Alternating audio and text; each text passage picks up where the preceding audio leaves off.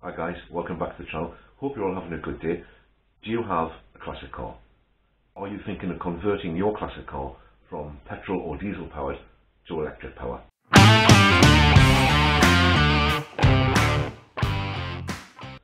Now, if you're thinking of doing that, I'm not going to show you how to do that, and I'm not going to tell you how to do that. I'm not even going to go into the argument about whether you should do that or whether you shouldn't do that. I do believe fully it's personal choice. However, all the information that's out there available at the moment, whether you're phoning businesses and talking to them about it, or whether you're looking on the internet uh, and social media and seeing if there's any information on, uh, on there about how to go about changing a car from an internal combustion engine to an electric motor, whether it's worth doing or not, should you really do it, can you afford to do it, that's for other channels to talk about. The one thing that I'm thinking of at the moment is, if you're in the UK and you have a classic vehicle and it's over 40 years old, it is going to be registered as a historic vehicle, which means you no longer pay for tax, so you get your free road fund tax, and you get uh, it's MOT exempt. So legally, your classic car of historic status does not need an MOT. That puts it down to personal choice. Do you want to have your car MOT? Do you think it's a good idea to have your car MOT? Again, that's a personal choice for you. not going to get into the debate about that whole thing. However, one of the things that has come out recently in the press, if you've been reading around, is the possibility of losing your historic vehicle status if your car is substantially modified. Now, I had a quick look through the briefings of uh, a substantially modified vehicle and what counts as a substantial modification. One of the things that uh, is taken into account is a difference in brake horsepower output or a difference in the power of the engine that you're using to drive the vehicle. So, I was just thinking, if you're thinking of going ahead and swapping from internal combustion to electricity as a way of powering your classic car over here in the UK, are you going to put yourself at risk of losing your historic vehicle status? Will you then be charged your yearly road tax and will you have to go back and have the car MOT every single year? So I tried asking a few people, not many people seem to know, so I did the right thing and I got on the phone and I phoned the DVLA.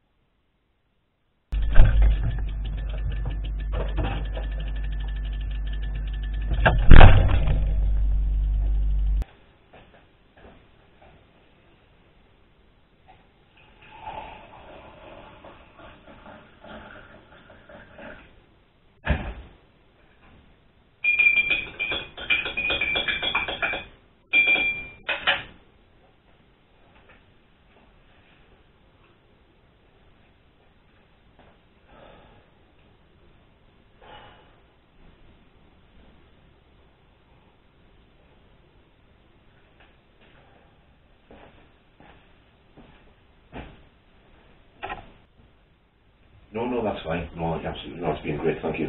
Really helpful. Thanks for your time. Thank you. Bye bye now. Bye bye. Well, that was interesting. A full 48 minutes waiting on the phone call for a five minute call.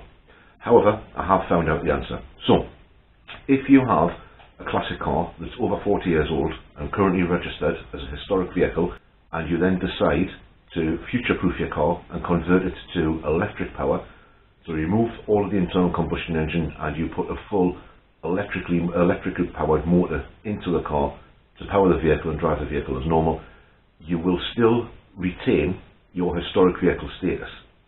However, you will be required legally to have the car MOT'd on a yearly basis.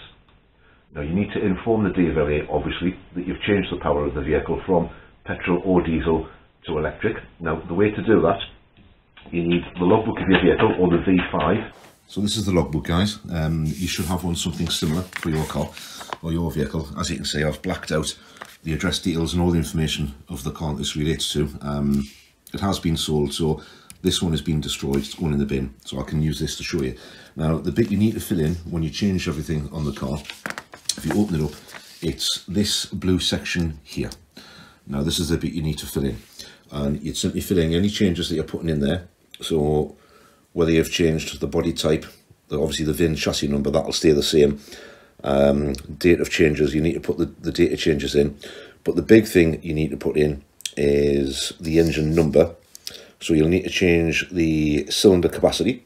You'll also need to change the engine number because your electric motor will have a specific engine number relating to it.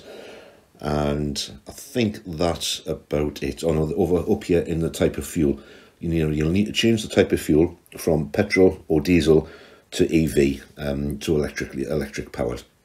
I'm sure if there's any issues, if you have any issues with it, obviously go to your local post office, check with them. Or if you have the time to sit and wait on the phone like I did, you can phone the DVLA and ask them for assistance in filling it in. Now, I'm not recommending that you call the DVLA. Uh, obviously, they've got a, they're incredibly busy at the moment. There's a huge call queue trying to get a, re a response from them, and I don't want to impact on that and make their job any harder. So if you have any trouble filling the logbook in on the blue section, take it to the post office. I'm sure they'll be able to give you a hand with that, but that's all you need to do. Well, that was a surprise. I wasn't expecting that. Uh, it's not normal to get good news when you phone the DVLA about something, some form of legislation that they're putting through. But in a nutshell, if you do own a classic vehicle, whether it's powered by a petrol engine or a diesel engine, and you are considering converting it over to an electrically powered vehicle, you can do that you will be able to retain your historic vehicle status, which means you'll still get your tax or vehicle excise duty exemption. So you'll still have your free road tax every year, but you will need to go back to having the car MOT'd on a yearly basis as you did do previously. Now, a quick question for all you fellas and fellarettes out there. Do you own a, current, a classic car currently? Are you considering changing from an internal combustion to electricity to run the car? Um, do you already own a classic car that has been converted from internal combustion to electricity. Would you consider buying one if it's already been converted? What's it like? Is it different? Or would you rather leave your classic car as original as it was when it first came out the factory showroom all those years ago and just keep it running and looking after it and enjoying it that way? Leave a comment, guys, girls, let us know. And uh, if you enjoyed this video, give me the big thumbs up that helps uh, the YouTube algorithm show it to all the other people that do need to see that in order to answer that burning question for them about whether you keep your historic status or not when you do the swap over, if you're considering doing the swap over. In the meantime, if you like internal combustion engines and you like classic cars, which, let's face it, you're watching the channel, so you must do, you'd probably enjoy this video here lots of internal combustion powered cars in there from a local cars and coffee that I run in the area. Uh, all the details will come up in those videos. But so that's it for this video. I'm going to end it there. Thanks for watching. Hope you enjoyed it and we'll see you on the next one. Bye bye.